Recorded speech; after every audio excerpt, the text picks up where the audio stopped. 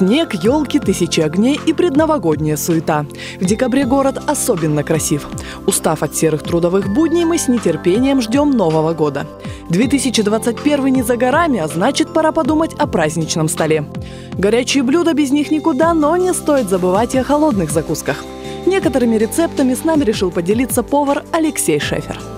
Всем известно, что скоро праздник Новый год. А какой Новый год у нас без чего? Без колбасы. Ни один Новый год, конечно же, невозможен без колбасы. Но мы сегодня с вами будем готовить очень интересные блюда. Для новогоднего стола выбираем прежде всего качество. Мы остановились на продукции фирмы «Брюки». Итак, блюдо номер один – брускетта с муссом из докторской колбасы. Для этого нам понадобится Докторская колбаса, сливки, каперсы, микрозелень. Это у нас идет ростки гороха. Вообще это тренд сезона сейчас микрозелень. О ней я расскажу далее, немного поподробнее. И нам понадобятся еще томаты черри.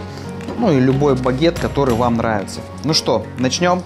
Сначала превращаем колбасу в кубик, затем нарезаем багет. Из оставшейся части хлеба берем немного мякоти добавляем сливки. Полученную массу тщательно перемешиваем с помощью блендера. Мусс готов, теперь займемся тостами. Выкладываем наш багет, батон, кому как нравится, так его и называем.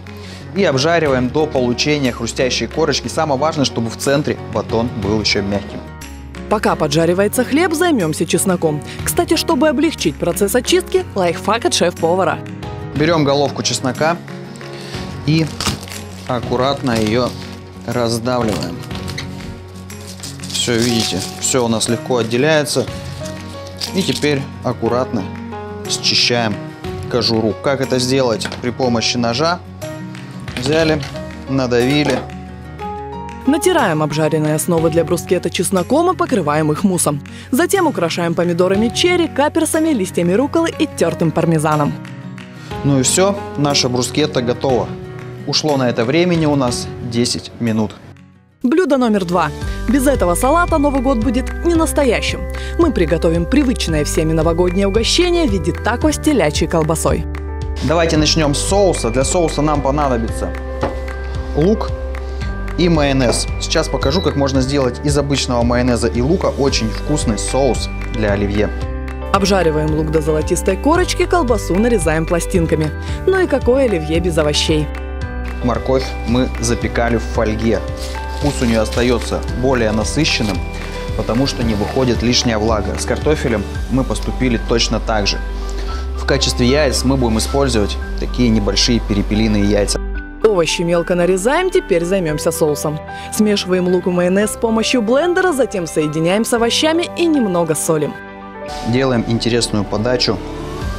Берем тонкий пласт телячьей колбасы, кладем его в руку, складываем и выкладываем сюда нашу начинку. Видите, как интересно у нас все получилось. Скрепляем наш тако шпажкой, последний штрих, украшаем перепелиными яйцами, микрозеленью и не забываем поперчить. Ну и третье блюдо, которое мы сегодня приготовим, это будет у нас закуска из запеченного картофеля с двумя видами колбасы. Это у нас краковская колбаса, мясной орех от компании Брюки и медово-горчично-цитрусовой заправкой. Берем картофель, обязательно его моем, кладем в духовку на 200 градусов на 45-50 минут. Дальше достаем, и у нас аромат картошечки из костра. Разрезаем картофель пополам, достаем сердцевину. Кожуру не выбрасываем, она пригодится для оригинальной подачи. Начинаем готовить горчично-медово-цитрусовую заправку.